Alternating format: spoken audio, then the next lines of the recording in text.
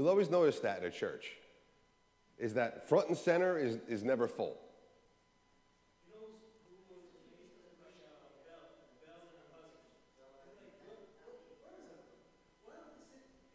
Yeah. The funny thing was, though, on Easter, because it was so full, when people came in late, they had to do the walk of shame all the way to the front so everybody could see them coming in 15 minutes after service started.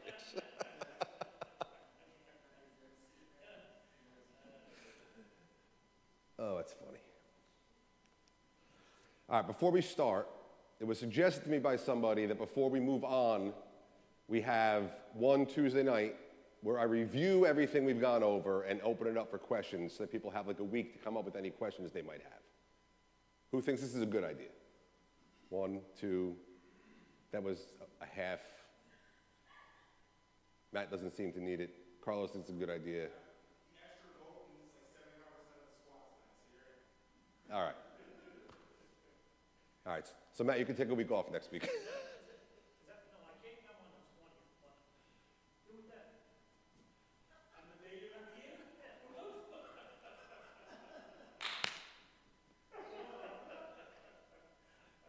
Well, I don't know, we're, we're going to be spending a few weeks in chapter 6. I'm not sure I want to divide that up.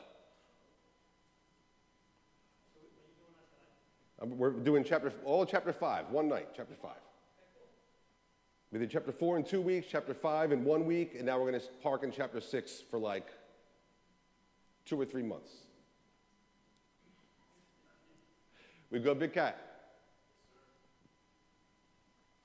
All right, welcome everybody on this beautifully warm spring day.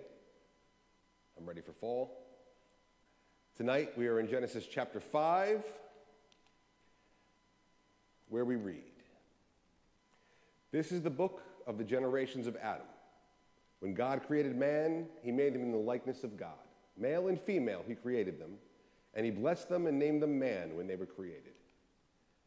When Adam had lived 130 years, he fathered a son in his own likeness, after his own image, and named him Seth. The days of Adam after he fathered Seth were 800 years, and he had other sons and daughters. Thus, all the days that Adam lived were 930 years, and he died. When Seth had lived 105 years, he fathered Enosh. Seth lived after he fathered Enosh 807 years, and had other sons and daughters. Thus, all the days of Seth were 912 years, and he died. When Enosh had lived 90 years, he fathered Kenan. Enosh lived after he fathered Kenan 815 years, and had other sons and daughters. Thus, all the days of Enosh were 905 years, and he died. When Kenan had lived 70 years, he fathered Mahal- Mahalalel. Kenan lived after he fathered Mahalalel 840 years and had other sons and daughters. Thus, all the days of Kenan were 910 years, and he died. When Mahalalel had lived 65 years, he fathered Jared. Mahalalel lived after he fathered Jared 830 years and had other sons and daughters. Thus, all the days of Mahalalel were 895 years, and he died. When Jared had lived 162 years, he fathered Enoch. Jared lived after he fathered Enoch 800 years and had other sons and daughters. Thus, all the days of Jared were 962 years, and he died. When Enoch had lived 65 years, he fathered Methuselah. Enoch walked with God after he fathered Methuselah 300 years and had other sons and daughters. Thus, all the days of Enoch were 365 years. Enoch walked with God, and he was not, for God took him. When Methuselah had lived 187 years, he fathered Lamech. Methuselah lived after he fathered Lamech 782 years and had other sons and daughters. Thus, all the days of Methuselah were 969 years, and he died. When Lamech had lived 182 years, he fathered a son and called his name Noah, saying, Out of the ground that the Lord has cursed, this one shall bring us relief from our work and from the painful toil of our hands. Lamech lived after he fathered Noah 595 years and had other sons and daughters. Thus, all the days of Lamech were 777 years, and he died. After Noah was 500 years old, Noah fathered Shem, Ham, and Japheth. The Word of God. Let's pray. Good and gracious God, I thank you for tonight. I thank you first, Lord, for a beautiful day, Lord, that your glory shines through the beauty of spring, Lord, just never ceases to amaze me. So I thank you that you are always giving us reminders, Lord, of who you are. The very creation reminds us of who you are, God. And I thank you for your word. I think that your word, like nothing else, Lord, instructs us in who you are, Lord. It reveals to us what you'd have us know about you. So, God, I pray that as we go to your word tonight uh, and we see a passage we probably all read so many times in our life, Lord, and just read a bunch of names and numbers, Lord, that we would see what it is you're revealing about yourself in this, Lord, and about us. So I just pray, God, that you would open our minds, open our hearts, open our eyes, open our ears, Lord, and reveal who you are. We love you and praise you in Jesus' mighty name. Amen. All right, so last week we began discussing the two lines that came from Adam, and we focused on the line of Cain. We saw that Moses provided information for the first seven generations of Cain's line to represent the whole line, and we saw how sin had proliferated generation after generation through that line. Now, this week we're going to consider the other line that comes from Adam. It's the line of Seth. And this is the only other line. This is what the Bible makes clear from Genesis 3:15 on. There are only two types of people. There are those who are saved and those that are not. There's the seed of the woman and the seed of the serpent. There are the elect and there are the reprobate. And while we're tracing physical lines here in Genesis, uh, I mentioned last week that Moses is using these to represent spiritual lines. The line of faith, represented by Seth, who called upon the name of the Lord, and the line of spiritual faithlessness, represented by the line of Cain, who made his own city and called it after the name of his own progeny. And we also saw that for the most part, only one son is named for each generation, the exception in Cain's line of the three sons of Lamech, who were the last generation named in that line. And this is meant to draw a parallel because the line of Seth will end with the three sons of Noah. And we'll see in the coming weeks that not all three sons of Noah are of the line of faith. And what that means for all the other sons and daughters that are mentioned in the line of Seth, we don't really know. That's the point. Moses is using a single physical line of descendants as a type of the spiritual line of descendants. But within that physical line, some of whom we'll see are not spiritual descendants, in that physical line is the spiritual line of descendants. The spiritual people are contained within the physical line. And that's another point Moses is making. Because when Moses wrote this, physical Israel, national Israel, they'd already been saved and called as a whole into the promised land. It's likely, by the time that this was written, that the majority of an entire generation of Israelites have already shown themselves to not be of the spiritual descendants. So Moses is making a very important distinction. And understanding this distinction is essential to understanding the redemptive history of the entire Bible. The spiritual children are contained within the physical progeny. Now, this will play out in the line of Noah, it will play out in the line of Abraham, it'll play out in the line of Isaac, it'll play out in the line of Jacob. It will play out in physical Israel, most of whom are actually judged in the Old Testament and shown not to be of the spiritual line. It plays out in the remnant that are returned from the land of Babylon. It reaches its consummation in Christ, the spiritual offspring of the woman who comes from the physical offspring of a nation of Israel. And now, spiritually, it plays out in the church. The church, who Paul calls the Israel of God, calls us the true sons of Abraham. He calls us the children of promise. So, Keep in mind what the line of Seth represents. It's the line of faith. The, the people we're talking about here are our brothers in Christ. These are the offspring of the woman, as opposed to those of the line of Cain that were the offspring of the serpent. As I mentioned last week, we get much more detail in Moses' description of the line of Seth than we did with the line of Cain.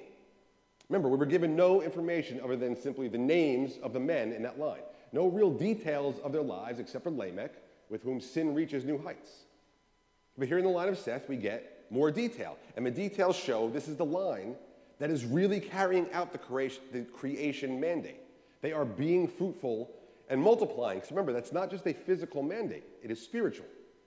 It is supposed to be imagers of God that are spread over the whole earth, obedient followers of God, children of God. And that's why this next major section of the book begins like it does. This is the book of the generations of Adam. When God created man, he made him in the likeness of God. Male and female, he created them and he blessed them and named them man when they were created. When Adam had lived 130 years, he fathered his son in his own likeness, after his image, and named him Seth. First, let's note how this section of the book begins. This is the book of the generations of Adam. This is the second major section of the book. This is the book of the Toledoth of Adam. Moses is signaling a new section of Genesis. We just finished the Toledoth of the heavens and the earth. We saw the creation of everything, including mankind. We saw through the generations, creation was corrupted, including mankind. And that section ended, if you remember, with the hope of Eve in God's promise. And Adam knew his wife again, and she bore a son and called him Seth, for she said, God has appointed for me another offspring instead of Abel, for Cain killed him. So that section ends with the hope that this child is the promised offspring of the woman. And it's like when Cain was born, that Eve expresses her hope in the offspring that is to come shows that she had faith in God. She had faith that his promise is going to be fulfilled. This is faith in Christ.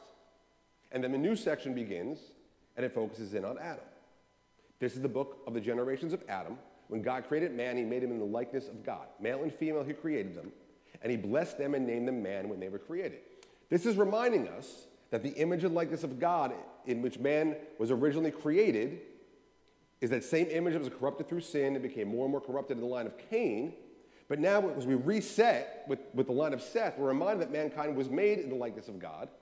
And there's actually a play on words here in our English translations, probably not intentional, because the word for Adam and man are actually the same word in the Hebrew. It's the word Adam, where we get the name Adam from. This says this is the Toledoth of Adam. When God created Adam, he made him in the likeness of God. Male and female, he created them, and he blessed them and named them Adam when they were created. So we see here how the man Adam is really representative of the whole human race. He was Adam, but we're told here together he and Eve were both Adam.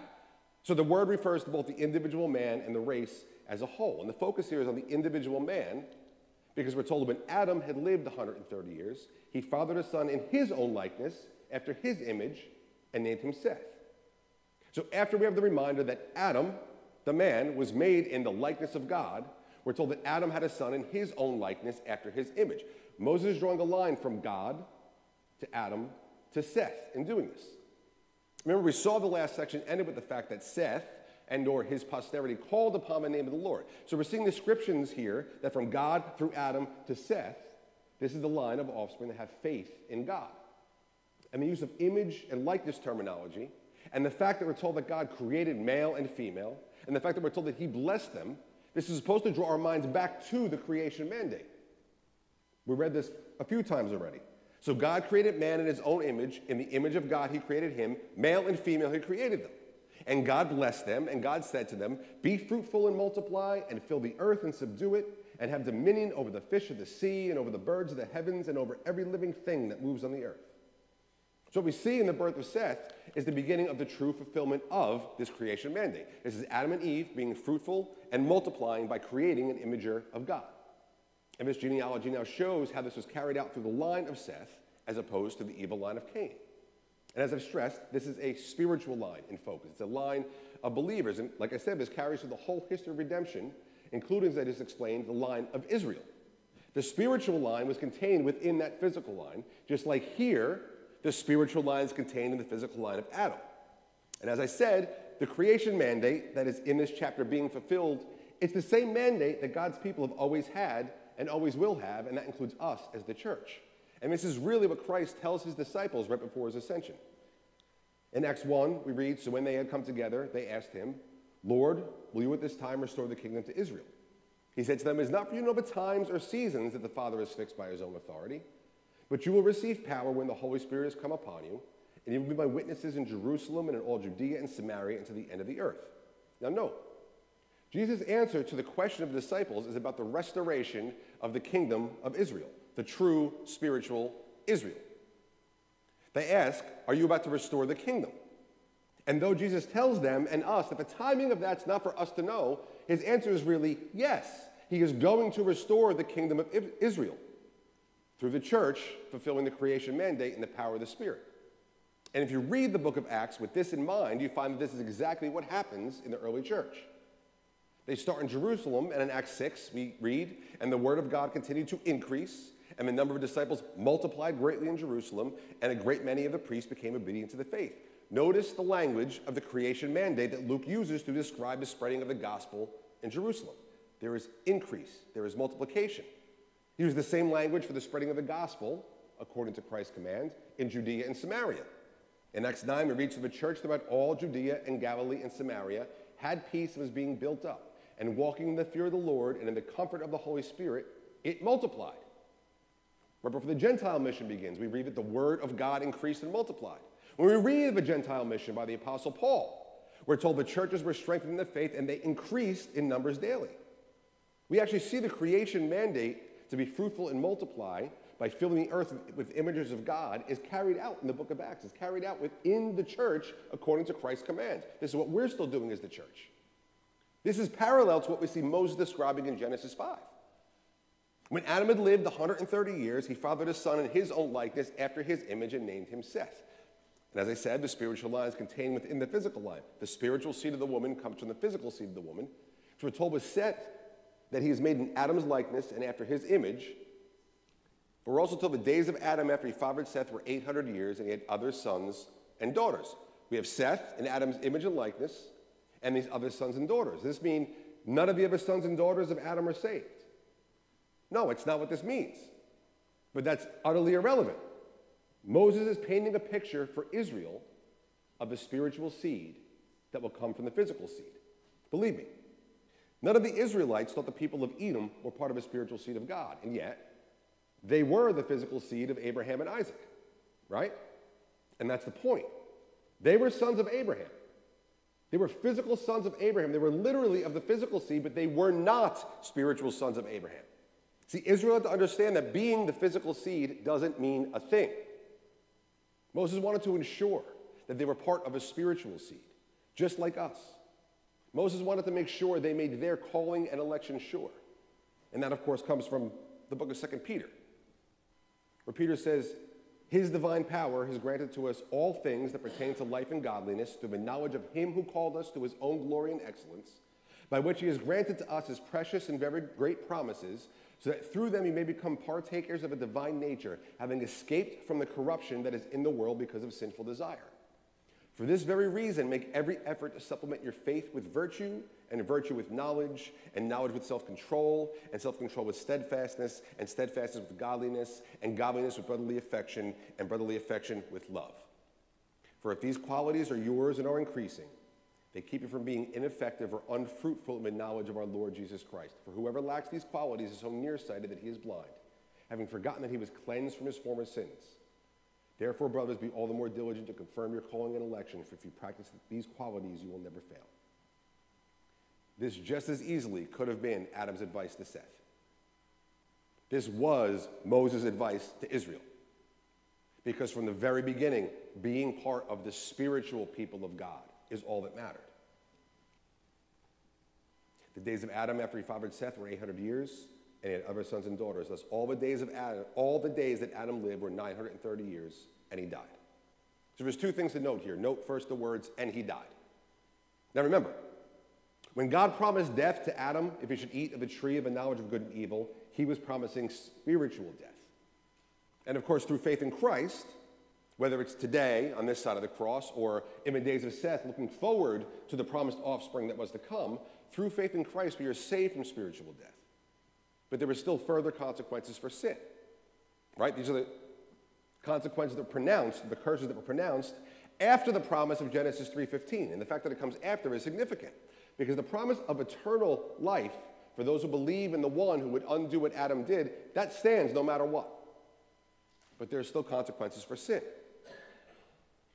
We saw God curse Adam and say, By the sweat of your face you shall eat bread, till you return to the ground, for out of it you were taken, for you are dust, and to dust you shall return. Physical death is a consequence of sin that even those saved from spiritual death have to pay unless Christ is to return. So Moses is sure to point that out. What God promised Adam happens.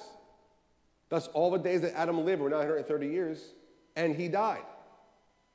And we'll see this refrain throughout this genealogy. And we'll see this throughout the Old Testament. We'll see even as we go through Genesis that the lifespans of humans become shorter and shorter because as sin becomes more ubiquitous, so does death. The second thing I want us to notice is that Adam had Seth at 130 years old and then lived another 800 years, which means he died, as we see here, at 930 years old. Now, the ages listed in this genealogy we addressed in the very first study in the introduction to the book. And I showed you that the Bible does indeed skip generations in places, very obviously. We have here 10 generations from Adam to Noah, leading to the flood. We'll see later in Genesis 11, we have 10 generations from Shem after the flood to Abraham. So Moses very well could be using the number 10 on either side of the flood to represent a full or complete line, just like he did with the number 7 on Cain's side. We also saw that the Bible, including other places in Genesis, very obviously changes the ages of some people for theological purposes. We also touched on how the Masoretic texts that our English translations are based on, for the most part, have different ages for a lot of these men in Genesis 5 than the Greek Old Testament does or the Samaritan Old Testament does. We also discussed how in a lot of ancient writings, the lifespans of significant men would be exaggerated so that history would show them as these great, long living warriors. In some ancient writings, like the Sumerian king list, men are said to have lived for over 40,000 years. Now, if you're a nerd and you like to read, I've printed some resources out up here. There's three different articles there if you want to take them home. If you're not a nerd, it'll help you get to sleep tonight, I promise. But I'm not going to spend any time here on the ages because the ages aren't the point. The spiritual lineage is the point. So maybe generations are skipped. I think they are. Does that change anything? No. Because as I mentioned in the introduction, generations, many of them, are skipped in Matthew's genealogy of Jesus. Does that change anything? This wasn't an uncommon uh, uh, means of writing back then. It, it just goes to show the genealogies, even those of Jesus, have a spiritual purpose in the Bible. In fact, if you compare the genealogies of Matthew and Luke, you'll see that Matthew lists 41 generations from Abraham to Jesus, and Luke lists 57. And it's not even only that Matthew skips generations, he does. But if you read carefully, you'll notice the genealogies between these two gospel accounts diverge and then come back in multiple places. So it's not, as some suggest, that Luke traces Mary's line and not Joseph's. That's absolutely not true. Not only do both clearly claim to be tracing Joseph's line, but the genealogies that diverge after David, come back together for two generations, diverge again, come back again at Joseph. Why? How, how can this be possible? These guys didn't have more than one father. Well, the physical genealogy is not the point, it's the spiritual that matters. And the man Jesus is physically the son of David, the son of Judah, the son of Israel, the son of Abraham, the son of Seth, the son of Adam. But he is spiritually the son of David, the son of Judah, the son of Israel, the son of Abraham, the son of Seth, the son of Adam, and the son of God. But even if Moses here skips generations, and even if Moses plays with the ages for theological reason I can't figure out, what doesn't change is that in ancient genealogies, even the ones that talk about kings who reigned for 40,000 years, the people named in these genealogies actually existed. The writer's always writing of real men, even if their lifespans were exaggerated. So the existence of the men mentioned in this line, as far as Moses was concerned, these were real people. He, he's trying to communicate historical fact that these men existed. And so he gives us, in this line, the same formula for all the generations. He'll say how long the man lived, who he fathered, how long after he fathered him he lived. He mentions he had other sons and daughters, and then he tells us how old he was when he died. And trust me, the math is correct on every single one. I did it. You don't got to do the math. It's all right. So we have the genealogy. When Seth lived 105 years, he fathered Enosh. Seth lived after he fathered Enosh 807 years, and he had other sons and daughters. Thus, all the days of Seth were 912 years, and he died. When Enosh lived 90 years, he fathered Kenan. Enosh lived after he fathered Kenan 815 years and had other sons and daughters. Thus, all the days of Enosh were 905 years, and he died. When Kenan lived 70 years, he fathered Mahalalel. Kenan lived after he fathered Mahalalel 840 years and had other sons and daughters. Thus, all the days of Kenan were 910 years, and he died. When Mahalalel lived 65 years, he fathered Jared. Mahalalel lived after he fathered Jared 830 years. He had other sons and daughters. Thus, all the days of Mahalalel were 895 years, and he died. When Jared lived 102 years, he fathered Enoch. Stop. Because we see here, unlike the brief genealogy we were given in Cain, Moses gives details of the being fruitful and multiplying and filling the earth according to the creation mandate in Seth's line. There are seven generations of multiple sons and daughters. All right? And he's sure to point out that every man through the first six generations died. And he died. It ends every single one. And I stopped here because we're about to take a little excursus here from the straight formula. We're going to get some more details regarding this generation. We have seven generations. Enoch is the seventh from Adam. And we have a parallel here. We got a list of the line of Cain up until the seventh generation from Adam when we got to Lamech. And remember, we read. I went too far, hold on. Lamech said to his wives, Adah and Zillah, hear my voice, you wives of Lamech. Listen to what I say. I have killed a man for wounding me, a young man for striking me. If Cain's revenge is sevenfold, then Lamech's is seventy-sevenfold. And we saw that by this seventh generation, man had moved further and further from God and was now actually celebrating sin. And even though he sinned, he didn't believe there'd even be any repercussions for that sin. And we saw that seven was significant because it's a literary device meant to present Lamech as a representation of the whole line of the reprobate. Well, Moses is doing the same thing here with the seventh generation of the elect. When Jared lived 162 years, he fathered Enoch. Jared lived after he fathered Enoch 800 years and had other sons and daughters. Thus, all the days of Jared were 962 years, and he died. When Enoch had lived 65 years, he fathered Methuselah. Enoch walked with God after he fathered Methuselah 300 years and had other sons and daughters. Thus, all the days of Enoch were 365 years. Enoch walked with God, and he was not, for God took him. And this he was not, for God took him in Israelite tradition, means that Enoch was taken bodily to heaven without seeing death. He then, according to the tradition, becomes part of a divine council and actually got the job of being the one who had to deliver news of judgment to heavenly beings that rebelled against God of a second divine rebellion. We see this reflected in the apocryphal book of Enoch. We're reading Enoch 12. Before these words were spoken, Enoch was taken, and nobody knew where he was taken and where he is now and what happened to him. His words were with the watchmen, that would be the heavenly beings that were part of the divine council, and his days were with the holy ones. And standing there, I, Enoch, was blessing the Lord of greatness, the King of the ages, and behold, the watchman of the holy great one called me. Enoch, scribe of righteousness, go and speak to the watchman of heaven. Any who left behind the high heavens, the holy eternal place, who were defiled with the women, and just as the sons of the earth did, they did the same also, and took for themselves women. You have brought great destruction on the earth, and there will be no peace for you, no remission for sin. And though they rejoice at their children, they will see the murder of their beloved ones, and they will groan over the destruction of their children. They will be bound forever, and there will be for them no mercy and peace. Now, we're going to dig into this much deeper when we get into Genesis 6. The question is is the tradition true? Well, we can turn to the pages of the New Testament and read more about Enoch, like in the book of Hebrews, where we read, By faith, Enoch was taken up so he should not see death, and he was not found because God had taken him. Now, before he was taken, he was commended as having pleased God. So, Israelites' idea of what happened to Enoch is true as far as him going to heaven. Enoch walked with God for father Methuselah 300 years, had other sons and daughters. Thus, all the days of Enoch were 365 years. Enoch walked with God, and he was not, for God took him. But I want to notice two things here. First, note that Enoch lived for 365 years. And as some suggest, this has absolutely nothing to do with the days in a year because when Moses wrote this, the Jewish calendar did not even have 365 days in a year. What I want us to notice that his time on earth, even though he is commended as the one walking with God, he is commended as the one pleasing God, his lifespan is much shorter than anyone else in his genealogy. Yet we consider him the most blessed of the bunch. Why is that?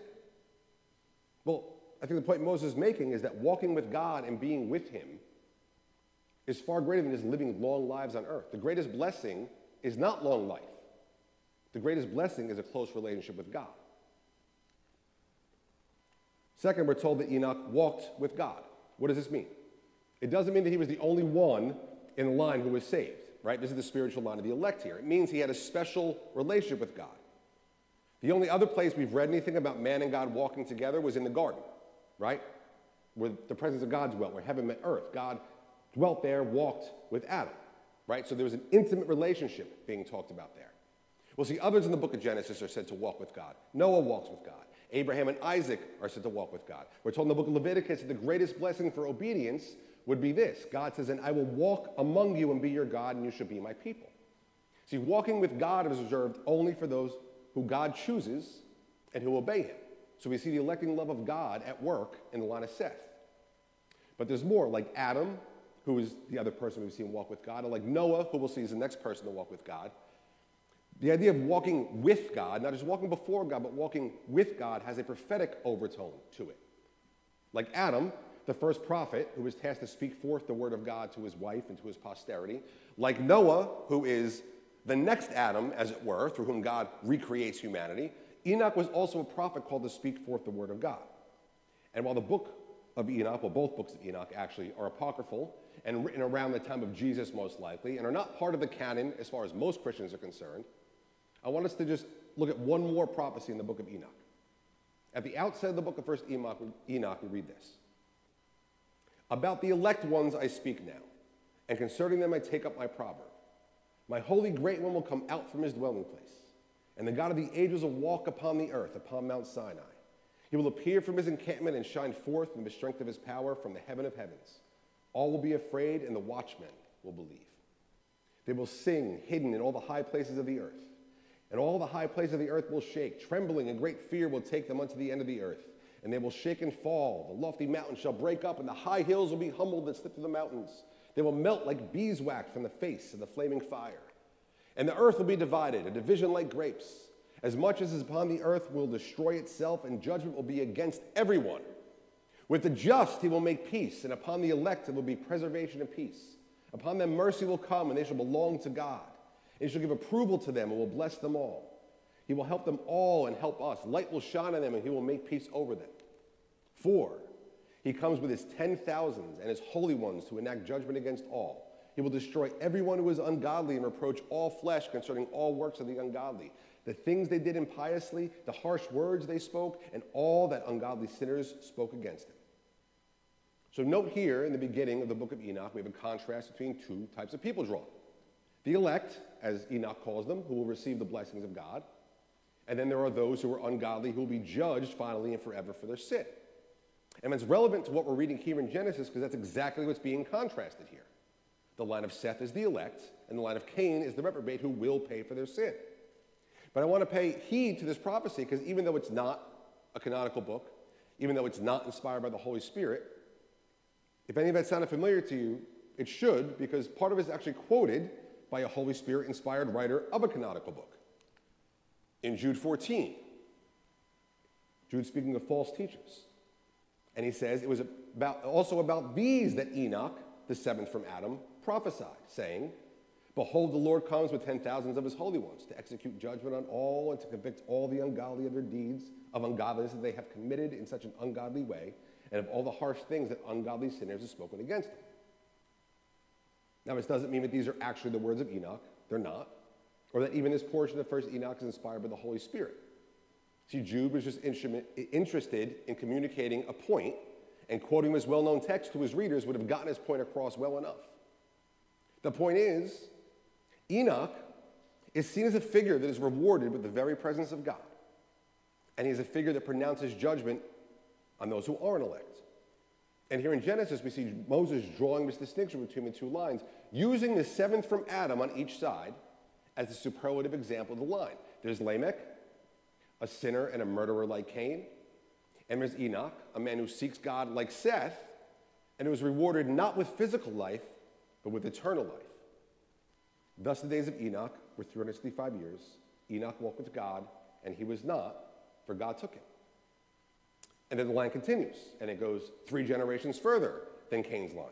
Because again, both 7 and 10 are numbers of completion or fullness. So Moses is using these numbers as representations of the full lines that were likely much larger than what we have here in Genesis. When Methuselah, that would be Enoch's son, had lived 187 years, he fathered Lamech. Methuselah lived after he fathered Lamech 782 years, and he had other sons and daughters. Thus, all the days of Methuselah were 969 years, and he died. When Lamech had lived 182 years, he fathered a son. And again, we stop, because now we get to the 10th generation from Adam. We get to Lamech's son, different Lamech in the line of Cain. And again, we get more details.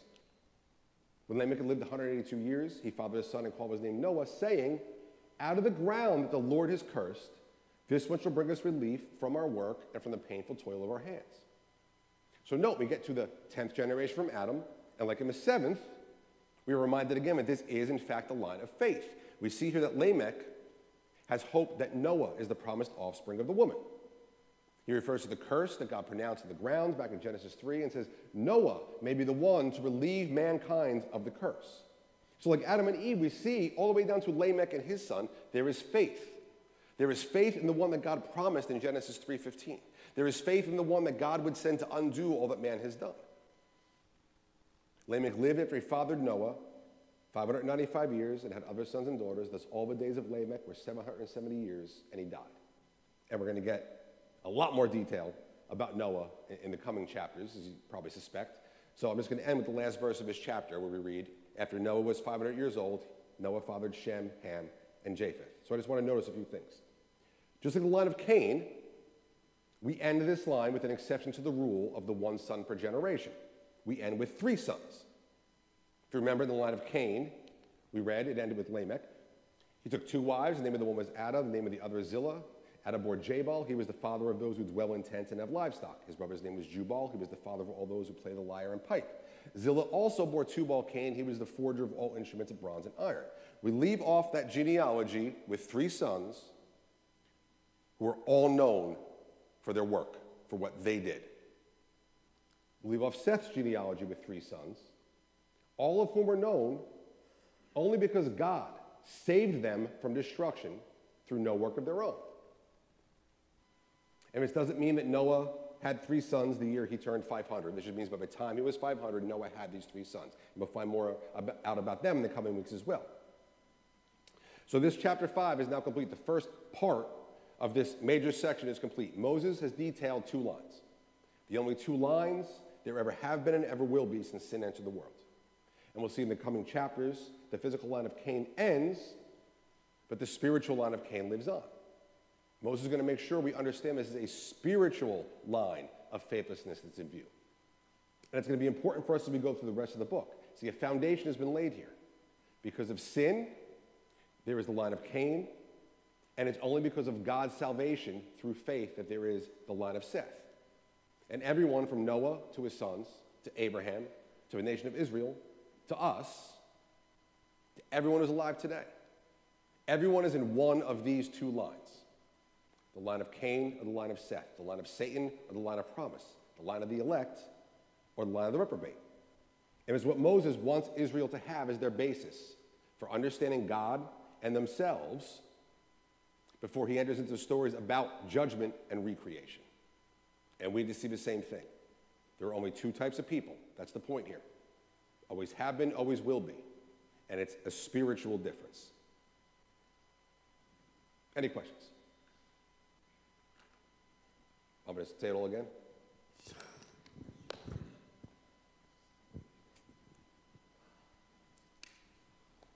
I don't want to say Mahalalel anymore.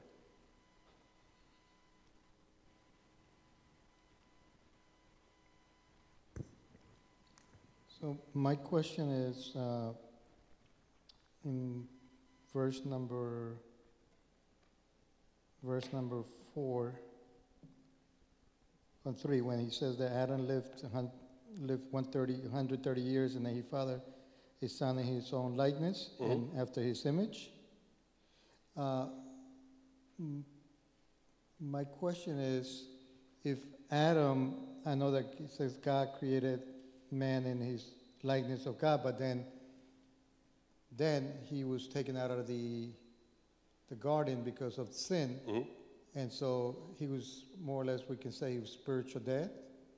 So, so now if he father, uh, if he father Seth in his likeness, wouldn't he be also have the same like spiritual death or? No, because when, when Moses goes back and, and revisits this, made him in the likeness of God, male and female created and blessed them, named them man when they were created, Moses is now talking about Adam's image of God before sin entered the world. And so he uses the same language to describe Seth. So he's drawing, he's trying to draw a line of faith from Adam down to Seth. Adam and Eve sinned, right? They were sentenced to spiritual death, but through faith in the promise of Genesis 3:15, they were saved. Their physical progeny, you have Cain who wasn't, and you have Seth who was. So it's showing its, its spiritual progeny in view here.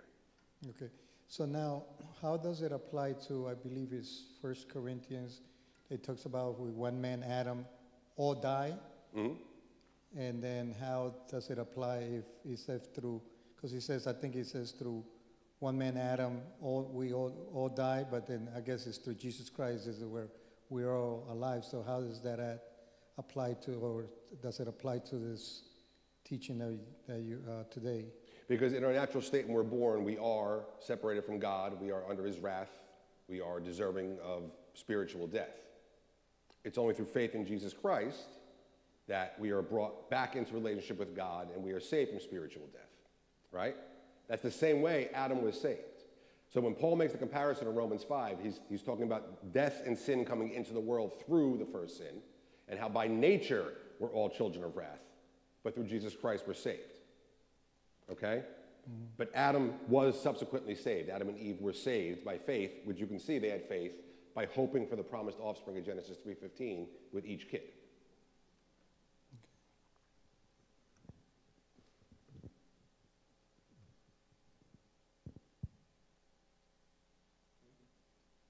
Antonio's got a little index card with questions on it. I could feel it. No, no, uh, this time, I sort of like, got the gist of it. So the one, the question I was gonna ask was about the ages, but you dodged that. Well, I, you know, I'm not saying the ages can't be legit. I mean, you know, I've heard convincing arguments that they could be, but I don't think it's relevant. I don't think it matters. I don't think it changes anything. I agree, hundred percent. Take some of the reading material. You'll enjoy it. Can I take it somewhere else?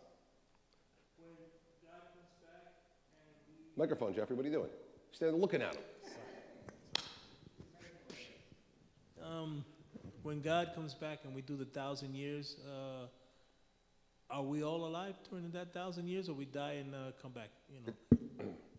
It's not a literal thousand years. Go to the Revelation study, brother. I got a book you can read.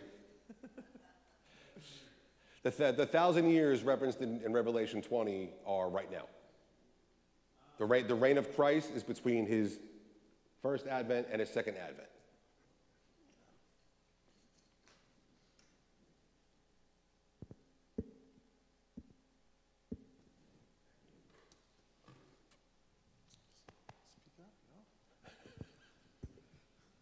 For the 930 years that Adam lived, does that count like any time in the in like the garden, or is that separate? I, I would think it does. You know, we're not really, this is really the first time we're given any kind of even relative ages to anything, right? We don't know how long Adam and Eve were in the garden before they sinned. We don't know how long they were out of the garden and eating before they had Cain and Abel. We don't know how long it was. Obviously, Cain and Abel were older by the time Cain killed Abel. We don't know how long it was after that until they had Seth. So we just don't know.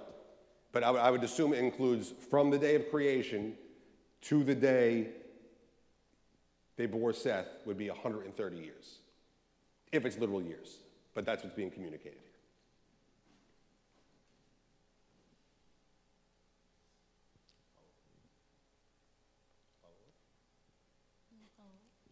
Rebuttal. Matt's got something. Matt had his hand up. It would seem that there are. Hi there. There could have been hundreds and hundreds of other children. Oh, yeah. Because to say that after Noah was 500 years, he fathered Shem, Ham, and Japheth, that could, that, that could have been ch- children 126, 7, and 8, or, Yeah. or who knows, in between them. Right. There's no telling. We don't know. Because I'm thinking they didn't wait 500 years um, to have a child. That's a long time. I, I would say. And the whole line of the, the spiritual line, I think we said this before. Um, that's what's explained to us in the New Testament, that it's not. Abraham's seeds, it's the seed, which is faith. But I'm wondering how much of this, because it's pretty clear that God has the two lines here, if you study this book. And how much of this is taught in the synagogue? That there's two lines. Yeah, it's a good question. Yeah. Well, I, I think they, they, I think they believe that they, the nation of Israel, the culmination of the line. Okay. Nation of Israel. Right. Which, which tribe? All of them? Good question. Well, according to the Bible, you know, all, there's still 11 tribes in exile, aren't there? Right. So, Yeah, it's a good, it's a good question. could be a, a huge lack of clarity.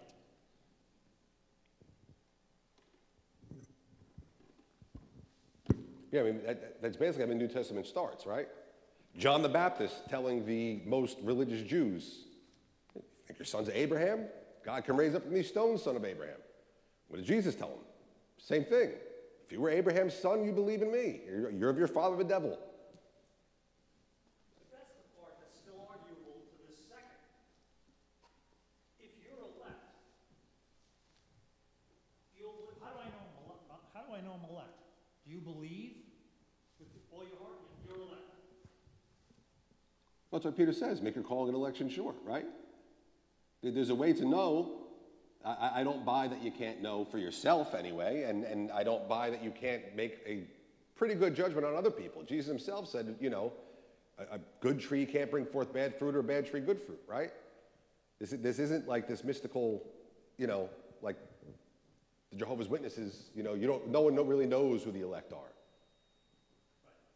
I know I'm one of the hundred and forty-four thousand. Which tribe? Dan. Not there.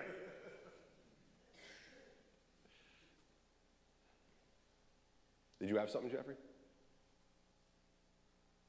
Uh, know. I was just thinking when he said, you know, um, which tribes or whatever, and the whole idea in, in Acts 2 where God's kind of starting to reclaim the nations in a sense at Pentecost is kind of, you know, it just made me think of that. It's not really related to what he was saying, that's why I didn't say it. But you asked, so here we are.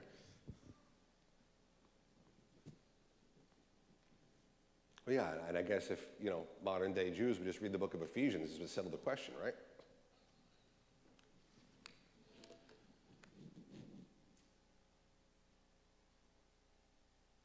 All right, let's pray. Heavenly Father, I thank you for tonight. I thank you for um, your word. I thank you, God, that there have been, uh, Lord, giants of the faith that have studied these things and have talked about these things, Lord, that you preserve these things for us to stand on the shoulders of those that came before us that have taught these things. And Lord, I just pray that you would open our hearts and our minds, uh, that by your Spirit we may be able to discern what is true, Lord, what uh, you would have us know, and honestly, God, just forget the rest. We just want to know you as you want us to know you, Lord. We want to know your word uh, for what it says and what it means, God, and we just want to be what you call us to be. So, Lord, just work in us by your Spirit through your word today and every day. I pray in Jesus' mighty name.